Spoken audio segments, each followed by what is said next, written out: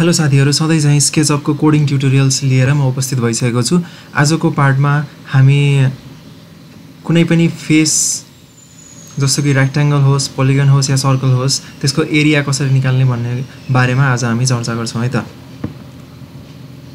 So generally हाम्रो मोडलमा मात्रै गर्दाखेरि सपोज एउटा रेक्ट्याङ्गल ड्र गरौँ। यसरी हामीले रेक्ट्याङ्गल ड्र गर्न सक्छौँ। र त्यसपछि हामी सेलेक्सन टुलमा गएर यसलाई सेलेक्ट गऱ्यो भने चाहिँ यसको एरिया चाहिँ two hundred nine point nine one inches square भनेर दिइरहेको छ यस्तै तरिकाले यो एरिया चाहिँ कसरी निकाल्ने त भनेर हामी हेर्छौँ आज।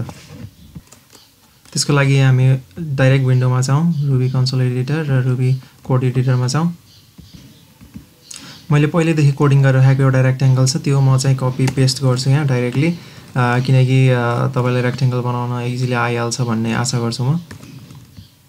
सो यो भयो हाम्रो रेक्ट्याङ्गल पोइन्ट्सहरू यो चारवटा पोइन्टहरू भयो। पहिला फेस बनाउँछ। त्यसपछि हाम्रो एरिया लिनलाई चाहिँ एरिया वान भनेको फेस वान डट एरिया गरेपछि यसले एरिया दिन्छ एकचोटि यसलाई रन गरौँ है त। अब यो टेक्स्ट भनेको के हो भन्दाखेरि हामीले पुराना भिडियोहरूमा हेरिसकेछौँ यो यसले चाहिँ के दिन्छ भन्दा टेक्स्ट दिने भयो। र यहाँ मैले गरेको नयाँ कुरा भनेको चाहिँ यो एरिया इक्वल्स टू भन्ने दिएको छ। एरिया इक्वल्स टू अब यो एरिया वानले चाहिँ के गर्छ भन्दा यो फेस वानको एरिया चाहिँ लिन्छ। सो यो रेक्ट्याङ्गलको लेन्थ चाहिँ कति छ? यसको ब्रेथ चाहिँ टेन छ अनि लेन्थ चाहिँ ट्वेन्टी छ त्यही भएर ट्वेन्टी टाइम्स टेन गर्दा एरिया चाहिँ टु हन्ड्रेड देखायो है त। भन्छ एरिया निकाल्नलाई सिम्पली फेसमा चाहिँ डट एरिया गरेर एरिया निस्किने रहेछ। अलिकति सम्झिनु पर्ने कुरा के छ भन्दाखेरि सर्कलको केसमा छ। मैले सर्कल पनि अलरेडी पहिले बनाएर राखेको थिएँ र सर्कलको बारेमा हेर्नु पऱ्यो भने तपाईँले पुरानो भिडियोहरू हेर्नु सक्नुहुन्छ मेरो। अहिलेलाई चाहिँ मैले सिम्पली पेस्ट गरेँ। सपोज यो सर्कल चाहिँ zero comma zero comma zero center भएको र भेक्टर अथवा जेड एक्सिससँग पर्पेन्डिकुलर र रेडियस चाहिँ वान भएको सर्कल भयो। यसलाई एकचोटि रन गरेर हेरौँ है त। रन गरेर हेर्दाखेरि चाहिँ यसको रेडियस कति छ? वान छ। सो फेस मैले चाहिँ इन्टाइटिजबाट फेस बनाएँ र एरिया निकाल्नलाई फेस टू भनेको चाहिँ यो फेस टू भयो। यसको एरिया चाहिँ थ्री पोइन्ट वान आयो है त। अब यहाँनिर एउटा कुरा अलिकति कन्फ्युजिङ के हुनसक्छ भन्दाखेरि जस्तो कि सर्कलको एरिया भनेको पाइ आर स्क्वायर हो। So pi into r square pi into one square गर्दाखेरि पाइ आउँछ। पाइको भ्यालु भनेको कति हुन्छ?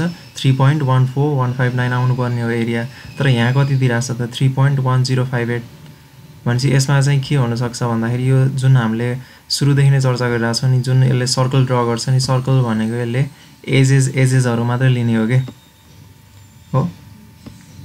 भनेपछि यो चाहिँ ओभरअल स्मुथ क सर्कलको एरिया चाहिँ यसले नलिने चाहिँ नलिन सक्छ। सो हामीलाई एक्ज्याक्टली सर्कलको एरिया चाहियो भने चाहिँ यसले दिनेवाला छैन। यसले चाहिँ जस्ट एप्रोक्सिमेट एरिया मात्रै दिन्छ। यति कुरा चाहिँ सम्झिनु पऱ्यो है त एरियामा। अरू त सिम्पल नै छ। जस्ट फेसलाई डट एरिया गरेपछि एरिया निस्किन्छ है त। जस्तो कि यो एरिया दियो होइन अनि यो मैले टेक्स्ट टू भनेको चाहिँ के बनाएको भन्दाखेरि एड टेक्स्ट यो यो जस्तै एड टेक्स्ट गरेको र area equals to area two dot to string यो टु एस भनेको चाहिँ टु स्ट्रिङ भनेर बुझौँ होइन। किनकि एरिया टू भनेको यो एरिया लियो होइन। एरियालाई चाहिँ मैले पहिला स्ट्रिङमा कन्भर्ट गरेको र यो प्लसले चाहिँ के गरिदिन्छ भन्दा यो दुइटा स्ट्रिङ अथवा टेक्स्टलाई चाहिँ जोड दिने काम गर्छ र यो सेन्टर वान भनेको चाहिँ यो पोइन्टलाई चाहिँ यसले ठ्याक्कै एरो देखाउने भयो र जिरो जिरो फोर भनेको चाहिँ यो फोर डिस्टेन्स माथि चाहिँ यसले देखाउने भयो टेक्स्ट चाहिँ है त।